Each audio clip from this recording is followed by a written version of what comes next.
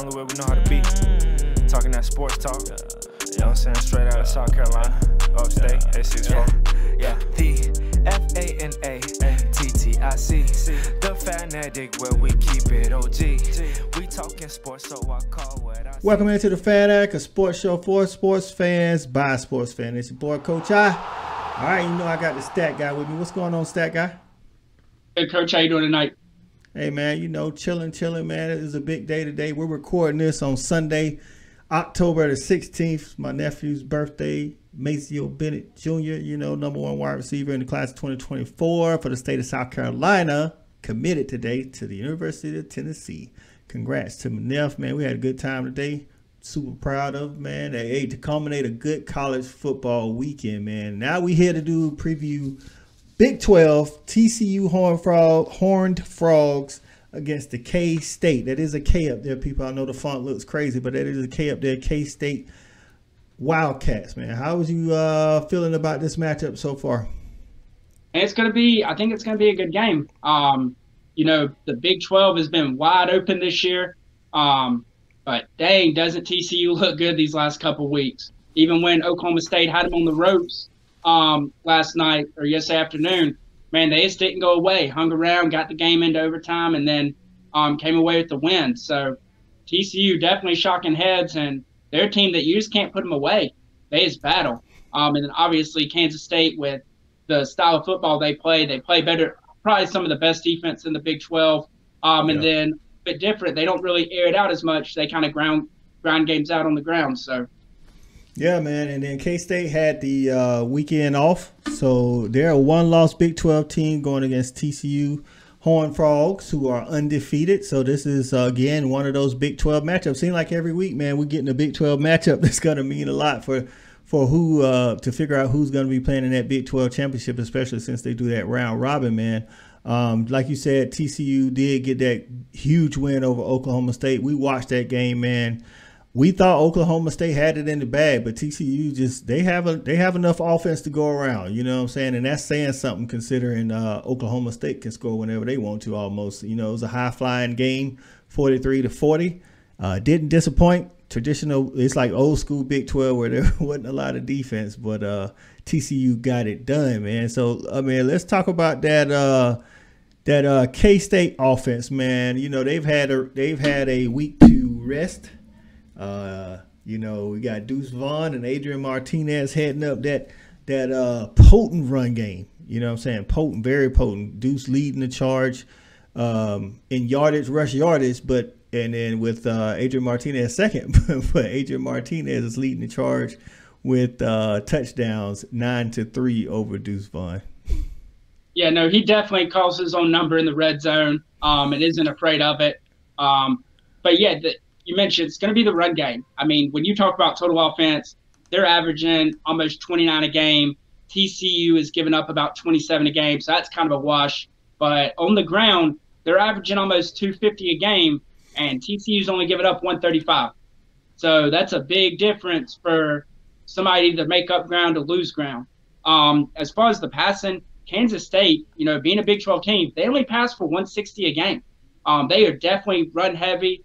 They take advantage of the passing game when need be, but they primarily like to grind that thing out on the ground. Um, and TCU's given up 204 yards a game through the air. Um, so maybe they're able to take a little bit more advantage of that, hit another play here or there in the passing game they normally don't.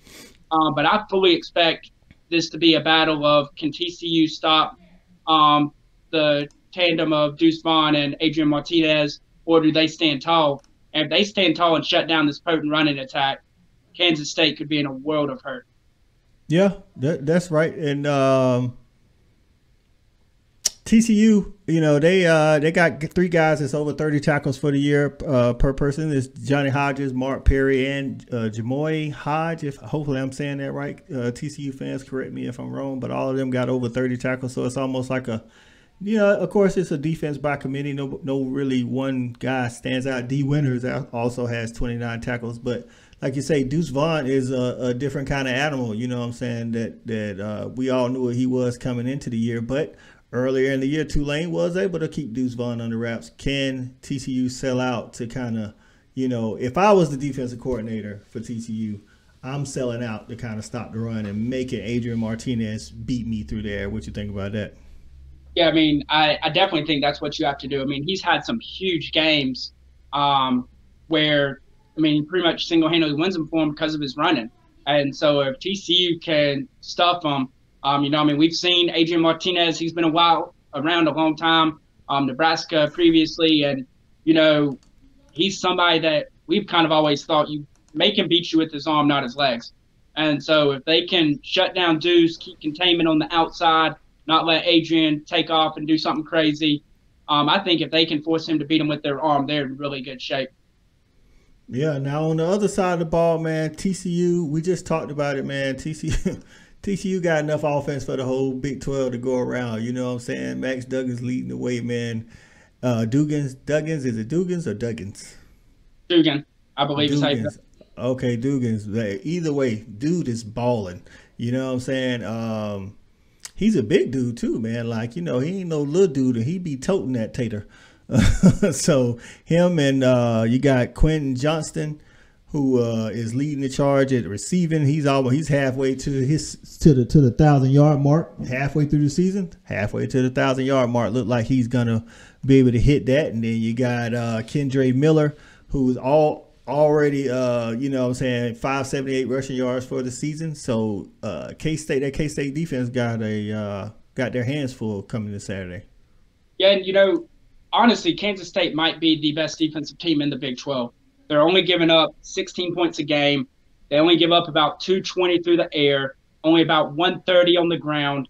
Um, so you're looking at them only giving up about 350 a game, whereas something's definitely got to give because TCU's averaging almost 550 a game.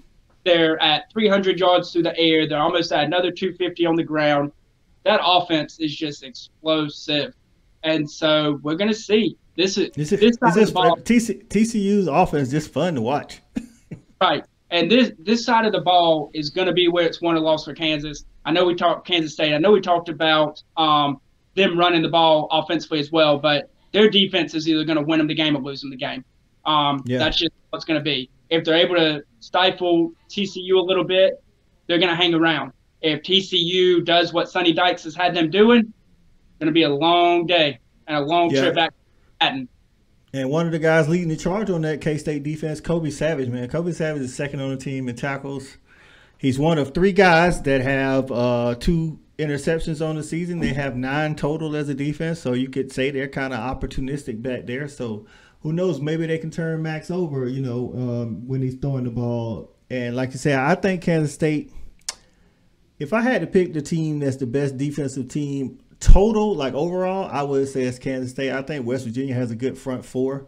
I think uh, Oklahoma State's front four isn't bad. Texas has some, you know, decent defensive uh, athletes, but I think overall, if you if I had to pick one, I'd go with K State. So, I mean, with that said, man, let's roll into these predictions. What is the spread and the over under on this game? So TCU is favored by five, um, and the over under is 59 and a half which seems very low for any time two Big 12 teams are playing. Um, so 59 and a half for the over under, and TCU's favored by five. Um, one thing about this game, Kansas State does lead the all-time series eight games to seven, um, and they have won um, in Fort Worth three times. So they have okay. been to you and picked up three wins on the road already. So it's not a place where they haven't won before. Um, it's something they've done before and could potentially do again. Okay, okay. Five ain't bad. You get three for being at home when you're doing Vegas odds. Five points. Five points. Uh, I'm gonna let you tackle this one first. So, first, apologies to all of our Horn Frog friends out there. Um, I went with Okie State. They were my fourth team to make it to the playoffs from back in March. I, I thought this was the year that Mike Gundy was going to get them over the hump, and TCU said no, sir. Um, so apologies to y'all. A lot of y'all called it. It was going to be high scoring. Y'all said y'all would hang, not only hang with them, but put it on them. And y'all definitely did this, that. So in honor of that, I am going to go with TCU this week. Um, and I don't think Kansas State's defense is going to be able to slow down this potent offense. I'm actually taking TCU big, um, 45 to 28. 45-28. Ah, I like TCU in this one. One for one reason because I, I want to see a Big 12 team go undefeated. So at this point, I got like listen TCU and TCU got an offense to do it. You know what I'm saying? Like a defense, you know, it's work in progress. But uh, I think it's going to be a little bit lower scoring only because I do feel like K State will be able to run the ball. Um, I feel like K State will be able to run the ball, which is going to limit some of the possessions. Not that it matters, you know, because TCU kind of makes the most of every possession they get but they won't have as many. So uh, you you went 45 28. Sure. I'm gonna go. Uh, I'm gonna go 32 to 28. 32 28. 32 in a shocker, shockingly close game. 32 28 TCU, but K State covers the five points. How about that? Take that. Trying to figure out how they're getting to 32 in your mind man, that's something's wild. Something wild's gonna happen. Some craziness, dog. Like a, a miss, a missed extra point or something. I don't know. so, um, let's see, let's see, let's see. How can they get there? Let's see, thirty-two. Hey, six field goals, two touchdowns, baby. Hey, maybe. no, not six. My bad. Six, two, two, two. Hold on. Six field goals. That's 18 right there. Yeah, two touchdowns. 14, 18, 14, baby. Maybe um maybe they just score four touchdowns and Sonny Dyke rolls the dice every time and they just go for two like they're playing NCAA. Like they play. Who knows, man? There you have it. TCU. Go ahead. Is the Big Twelve after all? That would not shock me. Hey, it is. So, what time is this game?